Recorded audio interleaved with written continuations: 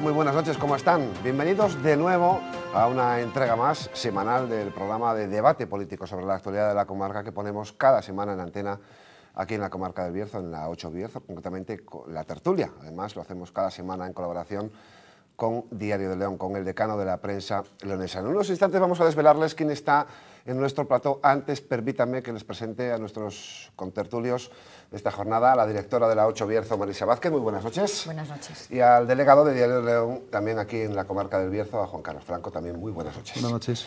Bueno, la persona que está hoy en nuestro plató ha sido alcalde de Ponferrada, ahora está en la oposición.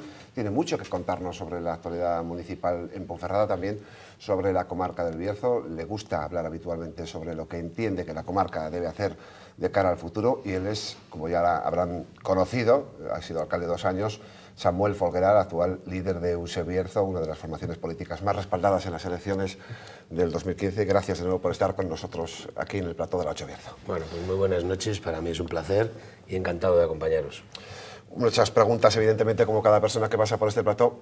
Si le parece, para hacer boca, eh, un poco un pequeño balance de este año y tres, cuatro meses de gobierno del Partido Popular, un gobierno minoría, después de unos resultados electorales, bueno, con, una diversidad tan amplia, ¿no? Estas siete formaciones políticas. ¿Cómo está viendo usted este gobierno en este año y poco? Bueno, la verdad es que el resultado tan fragmentado electoralmente, fruto de los, de los comicios municipales de 2015, efectivamente ha generado una cierta complejidad en, el, arco político del ayuntamiento. Y mm, eso no, debe ser óbice, puesto que tal y como está concebida ahora la política, que, tiene una, no sé, una multiplicidad de, organizaciones, una multiplicidad también de, puntos de vista, yo creo que se está en un proceso de, alguna manera de, reconfiguración, ¿no? el apartado político pues efectivamente no extraño, pero que lo que creo que, que, se debe abortar ahora mismo, o aportar, perdón, en, política es, es, consenso, son diálogos y son acuerdos. Por lo tanto, mm, siete partidos políticos, pero una obligación de llegar a ententes cordiales, porque lo importante son los ciudadanos, lo importante es llegar y, y, resolver las, las, necesidades y darle soluciones a los, a los problemas del día a día y de la, y de la ciudadanía en el municipio año y medio prácticamente. Si se fijan, eh, le queda 6, 7, 8 meses para cumplimentar el tiempo que yo estuve en la alcaldía de Ponferrada. Es decir, en 6, 7, 8 meses el gobierno de la señora Fernández cumplirá y nos rebasará en tiempo el tiempo que nosotros dedicamos a la alcaldía en Ponferrada. Creo que mm, puede ser como un poco, no sé, obsceno que lo diga yo así de taxativo, como lo voy a decir, que no hay color, o sea, es decir, no hay color. Nosotros en dos años y tres meses, fíjense eh, la cantidad de cuestiones que se abordaron, la cantidad de, intervenciones desde el punto de vista de las inversiones o desde el punto de vista de la organización municipal que se hicieron. Y efectivamente en un año y medio eh, digamos el resumen en general es absolutamente paupérrimo, es decir, es muy pobre, eh, realmente este gobierno municipal de la señora Fernández yo creo que se ha dedicado más a intentar deshacer que hacer, creo que es bien evidente. Em, no hay prácticamente pulso político en la ciudad, no hay inversión. Y lo único y poco que se está haciendo son las obras que nosotros, que nosotros dejamos listas, el cierre de la Plaza Santiago Albornoz, el, cierre de la, la compleción, la implementación de la media glorieta media Asturias, es decir, cosas que estaban además hasta, hasta presupuestadas. Y por lo tanto el balance creo que, es, creo, que es muy, creo que es muy pobre y es más, creo que está en una sensación de permanente campaña electoral, es decir, porque son todo fotos y todo promesas. Y eso es precisamente lo que se hace en las, en las campañas electorales. Y entonces por lo tanto, no sé, tristemente, tristemente me da la sensación de que Ponferrada está perdiendo pulso político. Buenas noches, señor Folgueral. Buenas noches. En el inicio de su intervención parece que mm. daba con las claves de lo que es una, corporación fragmentada, casi condenados a entenderse, la facilidad o no para llegar a esos consensos o llegar a esas negociaciones y ajustar posturas se están produciendo porque la teoría la tenemos clara, usted la ha planteado en esta mesa, pero se está dando esa situación de que una corporación tan fragmentada facilite esos acuerdos de gestión, esos acuerdos de gobierno, o sin embargo parece que no hay comunicación entre los grupos como para sacar inversiones y proyectos adelante? Bueno, efectivamente, los acuerdos, eh, si se producen, generan opciones de desarrollo en el, territorio. Si no las hay, es que efectivamente no hay, usted ve las inversiones, ustedes ven, yo hablo con el pueblo y las vecinas y los vecinos dan una sensación de cierto hastío y, de, sensación de, parálisis. Por lo tanto, desde luego, si hay esos acuerdos o si hay esos, esas negociaciones o esos diálogos, desde luego no se concretan en, en, cuestiones beneficiosas para la ciudadanía, porque hay, a las pruebas me remito. Pero hay comunicación con el equipo de gobierno, con el resto de fuerzas políticas, es lo que Sí, con algunos, más, con algunos más que con otros, ¿no? Eso creo que también todo el mundo lo sabe. Nosotros somos unas personas y un grupo político leales a la Administración, lo hemos demostrado desde el primer momento. ¿O qué quieren? ¿Que les recuerde lo que pasó en julio de 2015 con la señora Fernández en la alcaldía, teniendo que realizar un pleno de organización municipal, eh, habiendo cerrado un acuerdo con el Grupo Municipal Socialista, se le tira en marcha, para explicarnos así de manera coloquial, y nos llaman a ser postre, intentar llegar a una opción para que no se desacabalgue ese, ese pleno y nosotros que le dijimos, no, mire, atiéndase usted, eh, se ha equivocado y a mí que me cuenta. No, hemos sido fieles a, la, administración. ¿Saben por qué? Porque mire, las organizaciones políticas son de algunos, son de los militantes, de los simpatizantes, incluso de los que le pueden votar, que se pueden sentir eh, cercanos, pero las administraciones son de todos. Es un error lamentable introducir los partidos políticos en las administraciones. No se debe hacer. Es decir, una vez que eres responsable público, Tienes que efectivamente intentar ser fiel a un programa, si tienes la libertad de poderlo aplicar, lo aplicarás, si no tienes que llegar a acuerdos, ir cediendo en tu aplicación de tu programa, igual que otros grupos políticos lo tendrán que hacer con el suyo, e intentar llegar a acuerdos buenos para la ciudadanía, buenos para la administración, pero siempre teniendo claro una cosa, la lealtad a la administración es básica, es un concepto claro desde mi punto de vista, nosotros siempre lo hemos tenido claro, que la administración, una vez que eres cargo público, está por encima de cualquier otra cuestión. Eh, eh, buenas noches, señor Fogueral. Habla usted de entendimientos. El mayor entendimiento que se puede llegar en un ayuntamiento es la aprobación de los presupuestos. Y en ese caso, Gloria Fernández Merayo sí consiguió aprobar los presupuestos de 2016. Sí, sí, no, efectivamente. Sí, efectivamente ha tenido el marco. Eso sabe usted que es una manera de hablar. Efectivamente, el presupuesto es un, es un digamos, un, corsé que efectivamente si se desbloquea da una cierta sensación de, de consenso y de acuerdos. Pero luego ese presupuesto hay que aprobarlo. Estamos a un mes de rematar el año y el presupuesto está en una gran parte, en una gran parte sin, sin, sin implementar, con incumplimientos, no lo digo yo, lo dice quienes han apoyado. Dicho por la propia alcaldesa de Ponferrada en este plato, hablaba de unos presupuestos que está elaborando y que en principio no podrían llegar al Pleno hasta el mes de febrero o marzo para una primera votación. Ella evidentemente eh, nos contaba que espera también contar con el apoyo socialista, que espera también cumplir con lo que les había explicado. Pero hablando de diálogo entre administraciones, por ejemplo, para que Use Bierzo votase a favor o se abstuviera en esos presupuestos, ¿qué tendrían que llevar en sus partidas esos presupuestos? Hombre, yo entiendo que lo primero que tienen que hacer es intentar contar con nosotros. Ustedes saben que en el presupuesto vigente del 2016 tan siquiera nos llamaron, es decir, no quisieron contar con, con, con algunos grupos políticos, entre ellos con el grupo al que represento. Por lo tanto, lo primero que tiene que haber es un fair play, una lealtad entre las, entre, en, la, institución para contar con todo el arco político. Es decir, si todos los 25 concejales, de alguna manera, son llamados a través de sus portavocías a intentar eh, un, elemento de, de diálogo y de, y de, gestión tan importante como el presupuesto, pues podríamos, nosotros nunca nos hemos negado a, a dialogar. Pero claro, efectivamente hay que hacer unas cuantas cosas. Hay que hacer unas cuantas cosas. Primero hay que cumplir con los, con los proyectos del 2016 que están sin, sin, sin, sacar adelante. Y luego, pues claro, hay que, hay que ver algunas cuestiones que, que, que nosotros, pues claro, ahí tenemos nuestro programa electoral, que, que, creemos que son, que son elementales que se tengan que, que, aprobar. Pues no sé, mire, por ejemplo, le puedo decir una cosa. Nosotros entendemos que el auditorio municipal está infrautilizado. ¿Saben por qué? Pues porque no está cubierto. Pues porque está al descubierto y, por lo tanto, la, la, la cuestión climatológica en Ponferrada y en el Bierzo es la que es.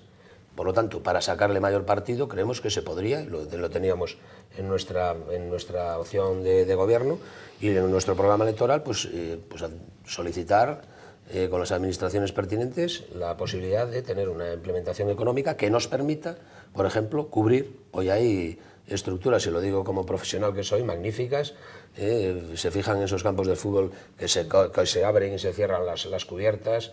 Eh, me parecería un proyecto precioso para poder eh, utilizar permanentemente 365 días una infraestructura como esa. Por decir, por decir algo. Luego, efectivamente, hay que, hay que seguir con los procesos de urbanización. Del, del, centro de la ciudad, y de las periferias, y luego también hay que hacer inversiones en el medio, en el medio rural. Tenemos tres cuartas partes del, espacio físico de Ponferrada es medio rural. Creemos que hay que potenciarlo y, que, hay que hacer implementaciones de, recursos económicos pues para conseguir que todo ese, ese gran aluvión de personas que van viniendo cada vez más eh, desde el punto de vista turístico a Ponferrada, que lo tienen como referencia, que yo no puedo evitar decirlo, que además las cifras así lo corroboran, eh, desde que hicimos esa gran inversión publicitaria eh, que fue el Mundial de Ciclismo de Ponferrada, que, insisto, después de, las valoraciones que han hecho los especialistas, cifran en una campaña de publicidad de 100 millones de euros, fíjense, se gastaron 11, y, eso ha generado mm, pues una atracción en, todo el mundo muy importante sobre este territorio y que efectivamente están empezando a tener sus réditos. Eso, así, de entrada, cuestiones que recuerdo que se pudieran, que se pudieran implementar al presupuesto. Por lo tanto, lo, pero claro, para eso tiene que haber voluntad eh, de diálogo, tiene que haber voluntad inequívoca de llegar a acuerdos y a consensos en posiblemente el mayor instrumento que tiene una administración local como son los presupuestos. Que se habla, por ejemplo, de algunos proyectos que presenta, que no sé si tendrán el respaldo de Bierzo, por ejemplo, el destino sanitario de, parte de la parcela del viejo Carrefour. Ustedes lo han criticado, bueno, a, todas luces, ¿no? Bueno, primero es que miren, eh, yo no sé si alguien sabe cómo, de qué va esto. Yo creo que hay que saber de qué va esto. Vamos a ver, si uno quiere contar con una administración que no es la local, es decir, con una administración supramunicipal, y quiere implementar, implementar una inversión, o en este caso un equipamiento con un servicio, lo primero que hay que hacer será llamar a la consejería, será sentarse con la consejería, será llegar a un acuerdo con la consejería y acto seguido, tanto la consejera o el consejero y la alcaldesa darán una rueda de prensa y dirán vamos a intentar hacer esta inversión en Ponferrada y vamos a dar este servicio en Ponferrada. Eso se ha hecho. No, por lo tanto, yo que tengo que pensar cuando ya no es la primera vez, porque lo hemos visto reiteradamente con otras, con otras supuestas inversiones que se van a hacer. Avenida de América, no sé cuántos millones de euros de fondos europeos. la calle, la avenida Gómez Núñez, de no sé cuántos fondos europeos. la peatonalización de no sé con no sé cuántos fondos europeos y de no sé dónde. Y de la Junta y tal. ¿Dónde están? Esos respaldos de las administraciones superiores que digan que sí, que se va a hacer. ¿Cuántas, cuántos, cuántas veces ya se ha reurbanizado eh, y resuelto la entrega del terreno con el río Sil? Lleva, debe ser el quinto proyecto que, que ha vendido públicamente. Es decir, Sigo pensando que está en la foto y en la permanente campaña electoral vendiendo promesas electorales, pero realmente ¿dónde están los compromisos de las administraciones superiores que dice que van a abanderar eso? Cuando estén, efectivamente, claro que seguramente que sean necesidades para el municipio de Ponferrada, pero en lo que usted me dice, la parcela del Carrefour, la parcela que es un sector de suelo urbano no consolidado. Por lo tanto, quiere decir que el plan general prevé un desarrollo para ese ámbito.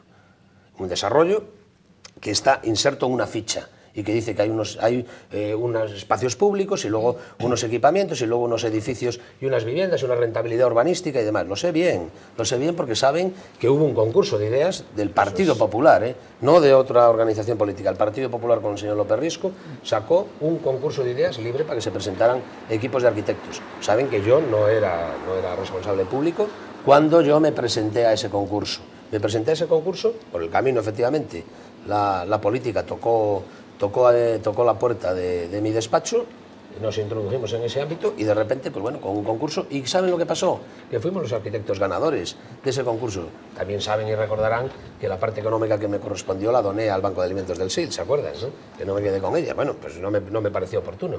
Bueno, pues hay una ficha, hay una organización urbanística del, del Plan General de Ordenación Urbana que dice lo que dice, con los usos y tal, y hay un concurso con una propuesta, con una propuesta además eh, multimillonaria posiblemente sea una inversión de 130 millones de euros en total para esa zona, pero es la entrega del ensanche de los años de, mediados del siglo XX con la nueva ciudad del siglo XXI, que es la Rosaleda, ese engarce de esas dos ciudades, de esos dos elementos urbanísticos que están todavía sin, sin unir, sin trabar, lo, lo, planteaba ese proyecto. Lo tiene muy fácil, escoger el plan general, coger el concurso e ir a las administraciones superiores a demandar recursos económicos para hacerlo. Está ahí, nosotros encantados además. Usted no es partidario, por tanto, de ese fin sanitario. Preferiría... No, es que, es que es el fin que diga el plan general. El plan general dice lo que dice y dice los usos que dice y por lo tanto, si no tendrás usted que tirar a la basura el, plan, el, el, el concurso de ideas, plan, hacer otro planteamiento y modificar los usos del plan general para esa ficha. Pero usted también tuvo dos años de gobierno y no lo llevó ese proyecto, ese desarrollo a ninguna administración superior. Bien, evidentemente nosotros en dos años y tres meses no vamos a poder hacer todo. Fíjese la cantidad de cosas que hicimos. Fíjese, la comisaría de la policía... Eh, ese programa, ese programa ya lo hemos hecho. Yo le pregunto directamente por el tema. Evidentemente, no hemos hecho todo lo que quisiéramos hacer. Por eso seguimos, seguimos aquí, porque tenemos ilusión y ambición para hacer tantas cosas. A lo mejor es que consideraron que no era prioritario hacer, eh, desarrollar ese, ese sector. No, sí, bueno, evidentemente la inversión entera de 130 millones de euros de ese orden es una inversión, son palabras mayores y tiene que hacerse a medio plazo. Desde luego no puede ser una cuestión de carácter inmediato, de carácter inmediato. Ahora, ir planteándose fases, irlo acometiendo, ir buscando recursos económicos, pues yo creo que sí, que es una cuestión que debe hacerse, debe hacerse, debe hacerse. Correcto. Vamos con otros temas. Por ejemplo, ha causado mucho revuelo, ustedes les ha, molestado mucho en ese Bierzo, pues eh, la publicación en la web municipal de, los bienes de cada concejal. ¿no? Estos últimos días hemos escuchado de todo, que ustedes no autorizaban, eh, que finalmente hacía falta una firma de un documento para que los servicios municipales lo publicasen, otras formaciones hablaban de oscurantismo. Lo cierto es que es un, toma y daca, obviamente, de la política municipal entre las siete formaciones o los grupos que hay entre ellas. Eh, ¿En qué queda esto finalmente? Esto está publicado ya. ¿Realmente faltaba eh, esa firma? Eh, ¿Si la retrasaron? ¿Qué es lo que ocurrió al final? Bueno, fíjense que no hay necesidades en el municipio que cubrir. Fíjense que no hay políticas que activar. Fíjense que a la ciudadanía realmente lo que le interesa y lo que tienen que, de alguna manera, activarse desde, desde las organizaciones políticas, desde los cumplimientos de los cargos públicos, para intentar mejorar las condiciones económicas y demás de nuestro municipio. Fíjense que no hay cosas. Bueno, pues continuamente es esta especie de barrunte, ¿entiendes?, de, de especie de picapleitos continuos en cuestiones que son, no digo que no importantes, ¿eh? porque efectivamente el marco legal hay que cumplirlo y la transparencia, la de transparencia hay que cumplirla, pero me permiten que eso no puede ser una noticia municipal. Eso no puede ser una cuestión que intente, de alguna manera, afear las conductas de cargos públicos, que fíjense, si hay algunos concejales en el Ayuntamiento de Ponferrada actuales que hayan presentado la declaración y el registro de intereses desde el, desde el año 2011, los únicos somos nosotros. Llevamos tres registros de intereses. Uno en el 2011, cuando iniciado el mandato 2011-2015, otro en el 2013, cuando accedí a la alcaldía y accedimos al gobierno, y otro ahora en 2015, cuando hubo el nuevo mandato. No hay nadie, ninguno de los concejales que haya, excepto los cinco compañeros, mis cuatro compañeros y un servidor, que hayamos presentado el mayor número de registro de intereses. Tres. En ningún caso, en ningún caso, hubo eh, que, una vez entregado el registro de intereses, firmar ninguna autorización ni, hacer ninguna otra, ninguna otra cuestión. Simplemente, desde Secretaría General se publicaban. ¿Por qué no se ha hecho ahora? Es decir, ¿por qué desde el 12 de junio de 2015 que nosotros, cinco concejales de USE, presentamos el registro de intereses, ¿por qué no se publicó? ¿Sabe que el decreto de publicación para, para la página web municipal lo realizó la señora Fernández, la alcaldesa, el día 2 de noviembre de 2016? ¿Qué es lo que pasó desde el 12 de junio de 2015 hasta el 2 de noviembre de 2016 que se publicó el decreto, que realizó el decreto y firmó el decreto para que se publicaran? ¿Qué pasó en todo ese año y tres o cuatro meses. ¿Qué hubo que cocinar? ¿Hubo que hacer algo? ¿Qué, qué, qué hubo Díganoslo usted. No, yo no lo sé, yo no lo sé. Nosotros entregamos la documentación, o la documentación que entregamos en junio del 15 era para guardarla en un cajón. La documentación cuando se entrega será para hacer uso de ella a la Administración. Por lo tanto, ha sido una Pero al final faltaba el, papel ese que se decía, o la firma autorizando la publicación. No, ¿Se la sacaron de la manga se la o era claro, necesaria? Claro, claro ¿Era necesaria esa no, firma? no, nunca la hubo. Se la sacaron ahora de la manga, sin ninguna duda. Alguien entendió que sacaron Pero de la manga. aquí hay agravio, es decir, exigieron, demandaron esa firma solo a USE o, la exigieron y demandaron al resto de grupos políticos y por eso estaban en ese portal de Nosotros no lo sé. Lo que sé es que a nosotros la secretaria, con fecha 10 de noviembre de 2016, o sea, hace escasos días, nos requirió ya por escrito que efectivamente ahora había que firmar una autorización. La firmamos y ya están publicadas. ¿De acuerdo? Por lo tanto, es una polémica estéril. Es decir, que ha cambiado desde el 11 al 13 y ahora al 15, han cambiado el método y ahora entonces hay que firmar una autorización aparte de entregar el registro de intereses. Bueno, pues que nos lo comuniquen, como nos lo comunicaron ahora por escrito, se firmó y ahí están. Y se dio orden y adelante. Si es que ahora hay que dar orden. Nunca se hizo, ¿eh? y es el tercer registro de intereses que lo hicimos. Entregábamos la documentación y se publicaba. ¿Ahora tiene otro procedimiento? Bueno, pues cuando nos lo han comunicado por escrito, nosotros lo hemos introducido. Pero insisto, del 12 de junio de 2015 al 2 de noviembre de, 2016, ¿por qué no se hizo todo ese proceso? ¿Qué es lo que pasó? Nadie lo sabe, yo desde luego no lo sé. Yo no lo sé. ¿Y sobre las cifras que aparecen hay que dar alguna explicación? No, no, yo creo que no, vamos. Eh, sobre las nuestras. Sí, básicamente. Solo faltaba. ¿No? Que, cada uno explique las suyas, me imagino. Sí, sí, bueno, eh, yo hice todo lo que tenía que hacer y puse las cantidades económicas. Por cierto, he perdido recursos económicos desde que me dedico a la política. Tenía más dinero cuando, antes de llegar a la política que ahora. Cuesta eh, mm, ser transparente en este sentido, el abrirse en canal y mostrar a la ciudadanía los bienes que uno tiene y sobre todo, claro, un político que ha pasado por el gobierno, que, tiene que quizás, lo que decía Juan Carlos, justificar esos bienes. No, en absoluto.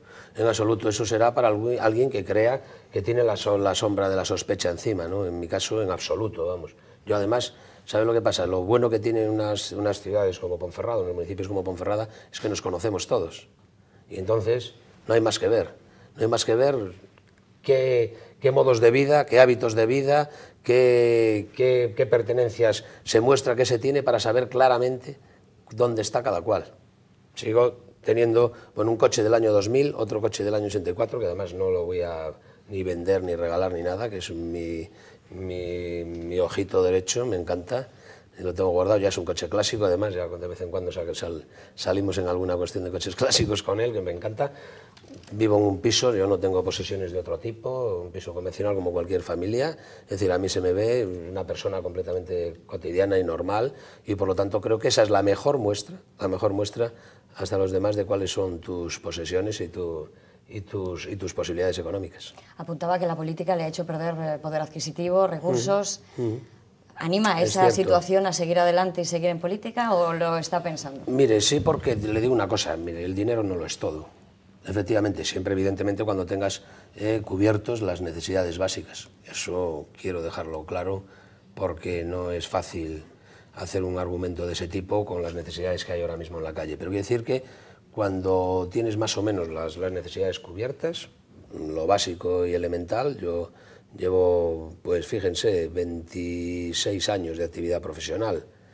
Eh, llevo toda la vida dedicándome a mi, a mi profesión. De hecho, saben que nunca la dejé, que cuando estaba en el ayuntamiento y era el alcalde, yo no tuve dedicación exclusiva. Fui el alcalde que menos cobró del último cuarto de siglo, el que menos número de dedicaciones exclusivas tuvo el cuarto de siglo. Eh, una serie de condiciones. Renuncié dos veces a dedicaciones exclusivas, una en el 2011 como, como líder de, y portavoz del PSOE. ¿Qué discurso más populista, y otra en el 15. Eso es así, no, se lo digo, es la realidad, es la realidad y están las hemerotecas y lo pueden saber. Eh, de otras cosas, a lo mejor, oye, cada uno puede presumir de lo que pueda presumir. A mí eso me parece muy importante. Yo no he venido a la política por, por recursos económicos ni por dinero. En absoluto, ahí está, he perdido recursos económicos por el camino y encima he renunciado. Fíjense, una dedicación exclusiva al intento Ponferrada son del entorno de 45 o 50 mil euros, que por cuatro años son 200 mil euros, ¿eh? y por dos veces, una en el 2011 y otra en el 2015. Y esa es la realidad. Y me dice, ¿compensa? Pues mire, las sociedades, como la sociedad moderna, democrática de, este país, mm, permitió a gente de clase media, eh, poder acceder a formarse. Mis padres, con un esfuerzo enorme, somos cuatro hermanos, los cuatro somos universitarios. Eh, se hizo un, esfuerzo en casa muy grande para que pudiéramos formarnos, pero bien es cierto que hubo una sociedad que lo permitió, una sociedad de avance democrática hacia el futuro que permitió que nosotros nos pudiéramos formar. Creo que en un momento dado hay que devolver a la sociedad que te permitió ese, esa capacidad de formarte, de ser alguien en la vida, hay que devolverle en algún momento esa, esa, opción que nos permitió a nosotros. Yo además se lo recomiendo a todo el mundo. No digo que tenga que ser la política como el, cuando eres el, no sé, en, la comunidad de, propietarios, cuando te toca por rotación todos los años, tienes que ser el presidente de la comunidad y saber cómo se hace una cuenta, tienes que llamar al cerrajero, al otro y tal. Bueno, de alguna manera, que toda la, toda la ciudadanía pudiera en algún momento aportar eh, democráticamente a la sociedad que, que, nos ha permitido de alguna manera ser occidentales y vivir, se lo recomiendo, es una aportación interesante. Llegamos al Ecuador de, de esta tertulia con Samuel Folgueral. Enseguida regresemos después de unos consejos publicitarios con más asuntos de la actualidad de Ponferrada y el Bierzo hasta ahora.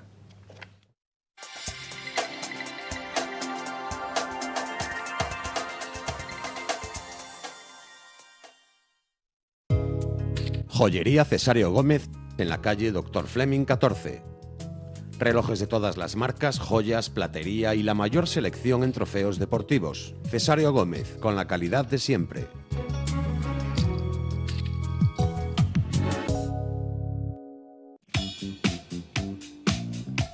En cada rincón, un detalle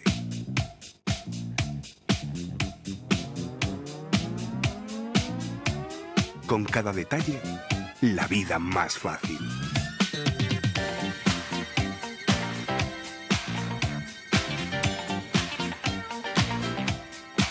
Eibarresa, el detalle nos diferencia. En 2015 cumplimos 50 años y por eso queremos explicarte por qué somos tu óptica de siempre en Ponferrada. Ser de siempre no es tratarte como uno más, sino como alguien único. Es haber vivido los cambios de tu barrio y de tu ciudad, del blanco y negro al color. Es haberte visto crecer, conocerte y comprenderte. Es haberte explicado hace tres décadas cómo unas lentes progresivas o un audífono pudieron mejorar tu salud. Ser de siempre es llevar medio siglo mirando por ti. Por eso y por mucho más, somos tu óptica de siempre en Ponferrada. Cada día necesitamos energía para perseguir nuestros sueños. Alcanzarlos exige un alto rendimiento. Para rendir es necesario descansar. Los sueños a veces se hacen realidad. Colchón VIP, tu sueño está aquí. Centro de Estética La Orquídea, pasión por la belleza. Alta cosmética, natural y médica Tratamientos unisex. Centro de Estética La Orquídea. Nuestra belleza eres tú.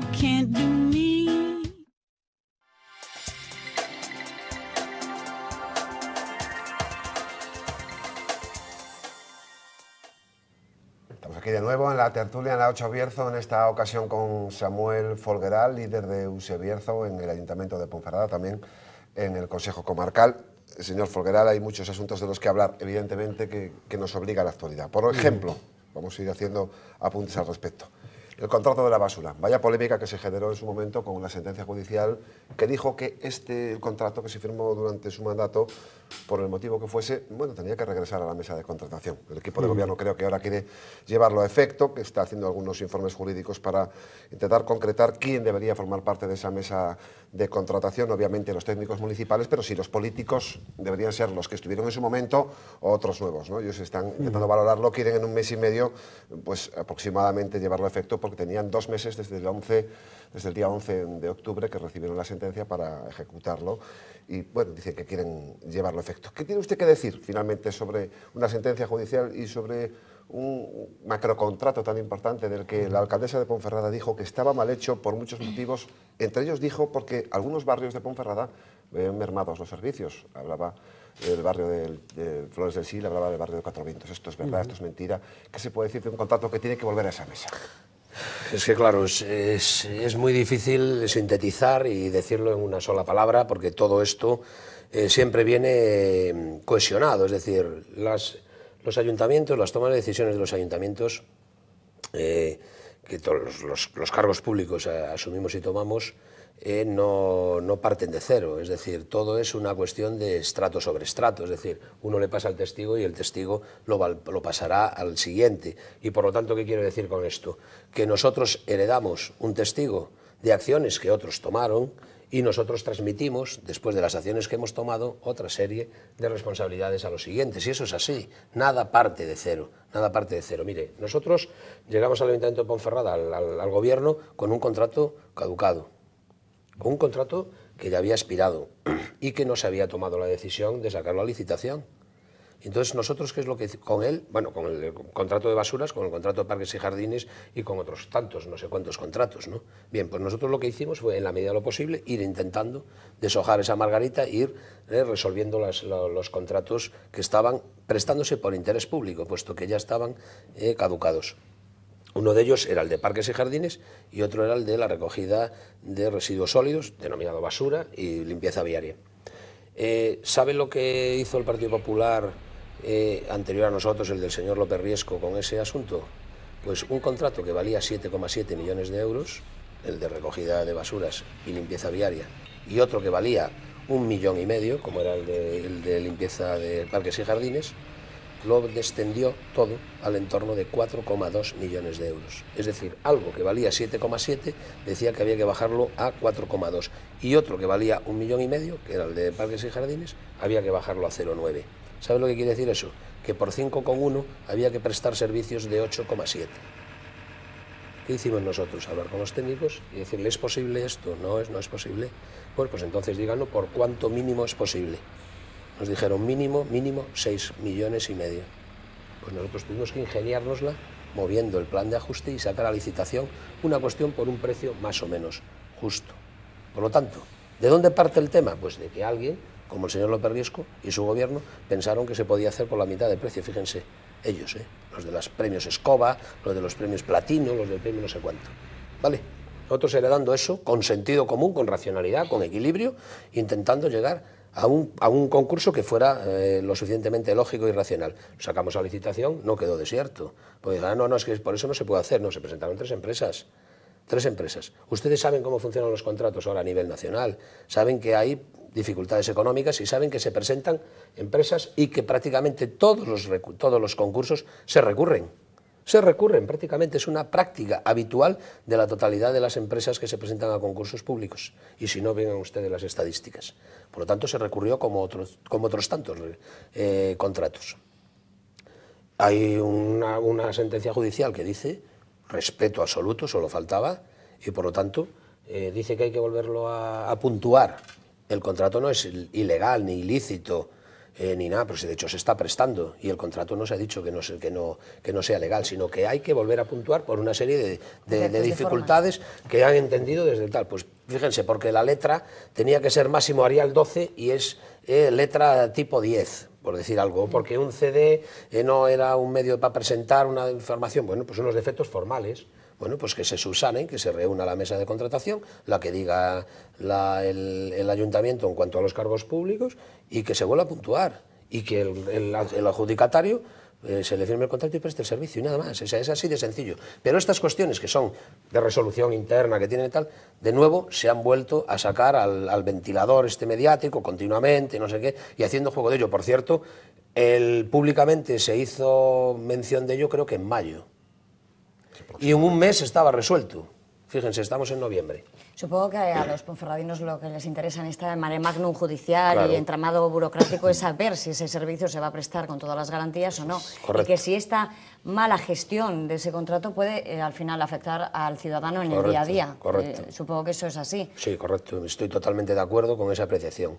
Y ya ven que el servicio se está prestando y que no hay un contrato ilícito. Por cierto, con nosotros se prestó este servicio y la ciudad, no quiero eh, pavonearme de ello, pero desde luego, a mí me lo dicen los ciudadanos por la calle, estaba bastante más limpia y bastante más cuidada que ahora. Y el precio era el mismo, la empresa era la misma y las cuestiones eran las mismas. Yo no sé si desde que la señora Fernández está gobernando haya habido alguna modificación que nosotros no sepamos. Desde luego, la ciudad está más descuidada y la sensación de suciedad y de, y de no atención es mayor. Eso a mí me lo, me lo reitera la ciudadanía prácticamente todos los días. Pero al final, ¿qué, cree usted que va a pasar con ese contrato? Pues que la mesa de contratación. ¿Qué mesa de contratación? Porque es la, la que tiene. La mesa de contratación, la que decida, la que decida el ayuntamiento. El ayuntamiento tendrá que decidir la mesa de contratación, que en el que habrá unos técnicos y unos cargos públicos, la que decida.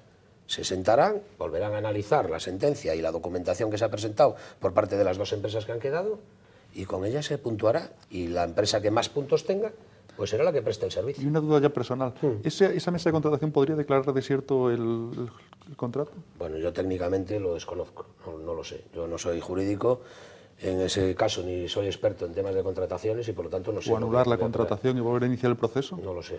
No para lo sé. hacerlo, para recoger las, los problemas que decía Gloria Fernández Merayo la semana pasada que había, para sacar la licitación a través de otro nuevo contrato. De hecho, eso no lo dice la sentencia. Dice que se reúna la mesa de contratación otra vez y, y que, que puntúe. puntúe. Pero más. si el fallo de la mesa de contratación, y haciendo ya un poco de abogado diablo, pues es una decide... cábala que no lo Se sé. puede dar, claro. Esa es una cábala que desconozco. No lo sé si además jurídicamente es posible, si desde el punto de vista de contrataciones es viable, no, no lo sé, lo desconozco. Desde luego lo que dice la sentencia es que se vuelvan a, a sentar la mesa de contratación a la que corresponda y que puntúe y que haya una- un ganador y el ganador preste el servicio. Eso es lo que a priori tiene que ser. Si hay otras fórmulas y se están averiguando, de- indagando, yo desde luego lo desconozco. Y vamos con otros temas. Parece que persigue las- lo que ocurrió en el Mundial de Ciclismo, lo que se dice que ocurrió. Hay tantas versiones de, de- de las cuentas ¿no? de ese Mundial. Lo cierto es que eh, en este periodo ha habido un informe del Consejo Consultivo que decía bueno, pues que algunos acuerdos plenarios, concretamente de agosto de 2014 y juntas de gobierno de septiembre de ese mes, justo antes de empezar el Mundial, bueno, que se adoptaron algunos, algunos acuerdos que consideraba nulos. Ustedes eh, vieron cómo se llevaba a pleno hace escasamente dos semanas el dar marcha atrás a esos acuerdos plenarios y de la Junta de Gobierno y llegaron incluso a decir públicamente que si salía adelante eh, podrían ir a los tribunales a querellarse contra algunos concejales. Esto no, no gustó mucho, fue un pleno muy bronco. Ustedes finalmente, después de que salieran adelante esos puntos, van a ir a los tribunales. ¿En qué va a quedar este episodio? Miren, vamos a ver una cuestión. Eh, lo he explicado antes. Eh, uno es un responsable público y llega una administración y esa administración no, no, no está a cero. Es decir, se han tomado decisiones previamente y también uno va a tomar decisiones que van a quedar para que los siguientes las afronten, ¿no? Las afronten. Por lo tanto, la teoría, la teoría de declarar nulos por eh, interés propio, es decir, de alguna manera, es decir, voluntad propia, voluntad propia. Ahora mismo los acuerdos plenarios no se, no se intentan eh, anular eh, porque lo diga un tercero, no, no, no, ha sido voluntario. El equipo de gobierno voluntariamente ha querido anular esos, ese, acuerdo de un pleno y dos acuerdos de junta de gobierno. Eh, ¿Ustedes creen que eso es lógico? Con la que está cayendo, con las necesidades que hay en la ciudad y demás, que se, que se quieran eh, declarar nulos actos anteriores. Imagínense que si nosotros en dos años y tres meses que estuvimos en el gobierno nos hubiéramos dedicado a coger 18 años eh, del Partido Popular y haberle empezado a sacar el, el- barniz y a ver si. No, no hubiéramos hecho nada, no hubiéramos hecho la sede de la Policía Municipal, no hubiéramos hecho los campos Ramón Martínez, no hubiéramos hecho el campo de Cuatro Vientos, no hubiéramos hecho la glorieta de, de la entrada del PIB, no hubiéramos hecho la Plaza Sánchez de Albarrán. Es decir, no hubiéramos hecho nada, nos hubiéramos dedicado a deshacer lo hecho. Que es exactamente lo que están haciendo. Finalmente van a ir a los Nosotros- tribunales o- o nosotros- vuelven las aguas a su cauce. nosotros no vamos a consentir, no vamos a consentir que se deshagan cuestiones con el único objetivo, como son estos acuerdos plenarios, de no querer pagar lo que queda del Mundial, que cuando haya que pagarlo le va a costar a la ciudadanía de Ponferrada mucho más dinero del que estaba ahí, que estaba presupuestado, que se tenía la cantidad, y además todo por un capricho. Nosotros eso no lo vamos a consentir, por lo tanto, claro que estamos barajando, estamos en la certificación del acuerdo plenario, de este último, y tal, y estamos ya con- en, en los servicios jurídicos que trabajan con nosotros, valorando ya todas las opciones. Da la sensación que se desprende de sus palabras que son decisiones arbitrarias, que quieren deshacer lo hecho en la anterior legislatura, en, en el mandato de Samuel Folgueral, pero sin embargo hay un sustento eh, jurídico, en este caso del Consejo Consultivo, que no suele ser eh, pues, eh, baladí. Son además Lógico. decisiones vinculantes, estarán basadas en documentación, es decir, no son decisiones arbitrarias porque al equipo de gobierno actual le dé por deshacer todo lo hecho. Está sustentado. Mire, sí, sí, en parte. Sí, en parte, porque ya lo hicimos públicamente antes de ese pleno.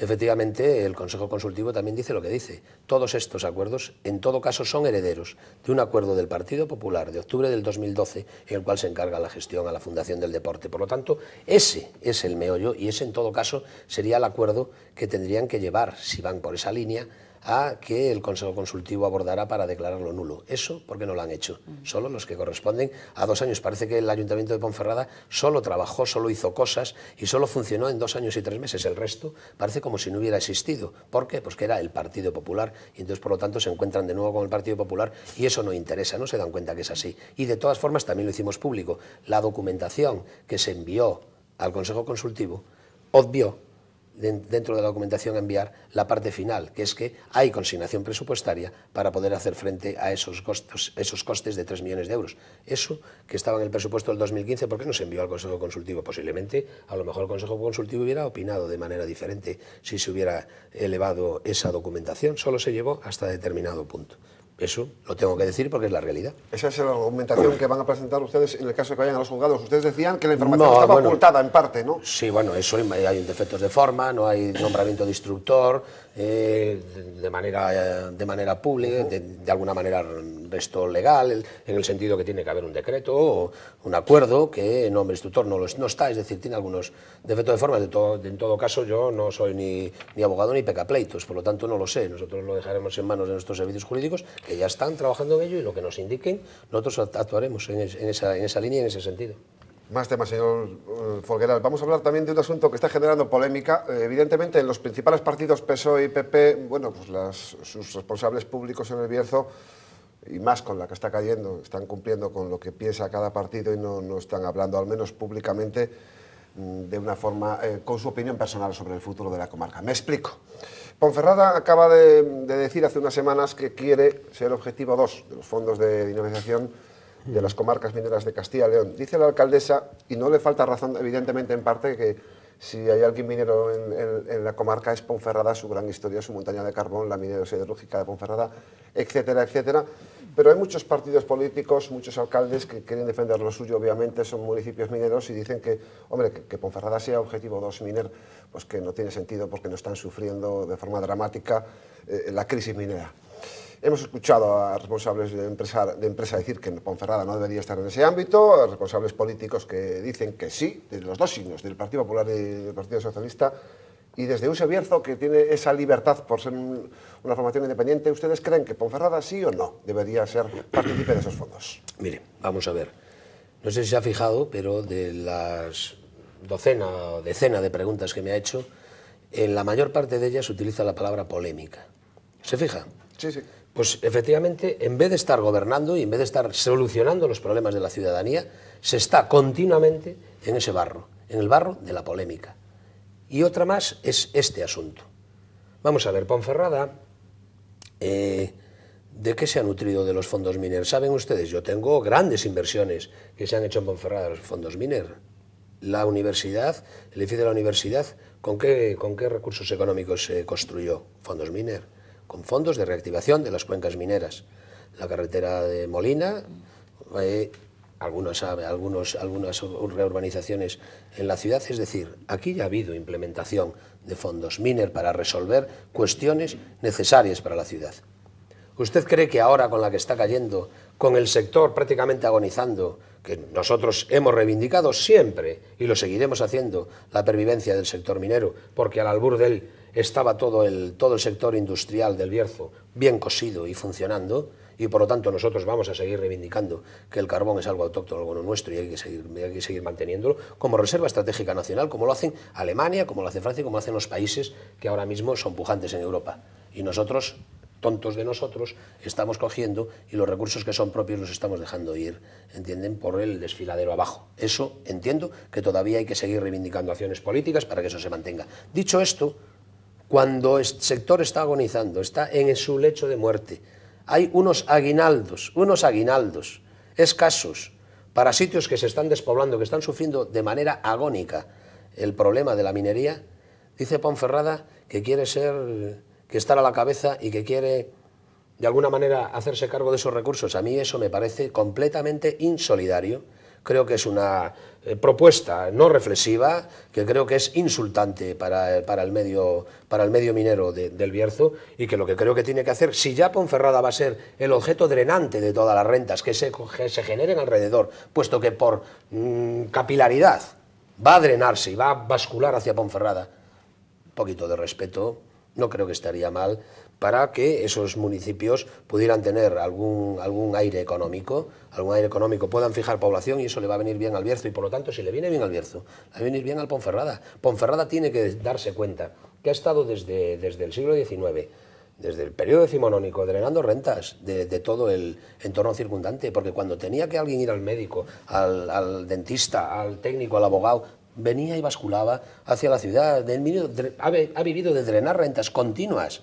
Creo que es el momento que tiene que, favorecer eh, al resto del territorio el progreso y por lo tanto lo que tiene que ser es el agente, el agente de la innovación en el Bierzo, Ponferrada no el elemento que va a la hucha y le quita los recursos, los dos o tres recursos pequeños que tienen los, municipios. Pero no estaríamos hablando tanto en cuanto de quitar recursos como de beneficiarse para competir con otras ciudades que no tienen nada que ver con la minería. Estoy hablando de, por ejemplo, beneficios, creo que Gloria mm. Fernández Merayo hablaba de beneficios fiscales, para que empresas que no van a ir a Favero o a Torre se instalen en Ponferrada. Bueno, eso creo que tuvo ya una contestación pública en su momento, porque las ayudas de carácter minero, desde luego, no contemplan los beneficios fiscales y, por lo tanto, de eso no, no, creo, que, creo que en el plan de dinamización de la Junta sí hay un apartado que es la, lanzadera financiera en la que sí hay unas partidas. por... en, en, todo caso, si es así, está mal explicado. Si es así, está mal explicado. Porque yo, si eso me ocurre, desde luego, tengo que salir públicamente y decir que exclusivamente estoy moviéndome en un campo concreto, que nada tiene que ser competitivo con eso y así no se ha hecho. Yo por lo menos no tengo esa, esa noción ni esos datos. Por lo tanto, creo que ha sido una polémica de nuevo artificial, de nuevo muy egoísta, intentando acaparar que Ponferrada Mm, el resto prácticamente no existe y que nosotros, en cuanto seamos nosotros fuertes, pues bueno, ya lo será el resto del territorio cuando la concepción es al revés. Los demás también tienen que ser fuertes para que a nosotros, de alguna manera, esos recursos económicos vuelvan aquí porque somos el eje y la capital del, del Bierzo y por lo tanto, de manera natural, nos va a ocurrir. De todas formas, lo que se tiene que preocupar a alguien cuando está interesado en estas cosas del empleo es que hay que coger el toro por los cuernos. Yo si fuera el alcalde de Ponferrada, en estos momentos, y Endesa dice que va a cerrar, yo desde luego estaría el primero y hubiera solicitado las reuniones precisas y hubiera hablado con él. Y hubiera tal. ¿Lo ha hecho la señora Fernández? No, lo hemos tenido que hacer otros desde el Consejo Comarcal, o no lo saben. Ahora dice, eh, dice no, dicen los medios de comunicación, y es cierto que hay capital americano que es mayoritario en la fábrica de, palas eólicas de la Llanada. Yo al día siguiente ya tendría una entrevista, desde luego solicitada, con, con la empresa para ver si esa capitalización de esos fondos americanos van a generar más empleo, lo van a mantener, vamos a perder empleo. Yo eso me preocuparía. ¿Eso se ha tomado alguna decisión al respecto del desarrollo económico de este territorio y, del fomento del empleo? Que desde luego es el, mayor problema que tiene la sociedad contemporánea en crisis, es la, falta de empleo. el, empleo mantiene la familia, mantiene el núcleo, el núcleo estable de los individuos y a partir de ahí les permite desarrollarse. Si no hay empleo, hay un cascada, un desastre casa por casa, hogar por hogar. Es muy triste decir que se van a hacer unos planes de desarrollo económico por calles, con locales, con incentivos, con lanzaderas, con beneficios, con no sé qué, y luego estamos viendo cómo las familias ayudan a sus hijas, a sus hijos, a un negocio, meten a lo mejor todos los recursos que tienen en poder hacer un proyecto de acondicionamiento del local, entender el negocio, y luego ves a los dos meses que no va nadie, que el recurso no funciona y que se va todo, todo, perdonen, por la taza del váter y todos los recursos de esas familias durante muchos años realmente han resultado baldíos. Eso es muy triste. Y sobre eso hay que, de alguna manera, tomar el, toro, coger el toro por los cuernos o como se denomine, es decir, ser activos e intentar resolver con las administraciones superiores, que son los que tienen la titularidad del empleo, o no lo sabemos, que son las administraciones superiores, es ir allí y intentar que esas administraciones nos ayuden, nos ayuden, porque nosotros no queremos más que otros territorios pero tampoco queremos ni un euro menos que hablando, ningún otro territorio. Hablando de, desarrollo, compañeros. hablando de desarrollo económico, en caso concreto de Monferrada, se ha apostado muy fuerte por el CILOG. ¿Usted cómo ve el proyecto? Bueno, mire, por favor. pero si son, son, estamos hablando de cantidades irrisorias y encima ahora Europa ha dicho que para el CILOG de Castilla y León no va a haber ningún recurso.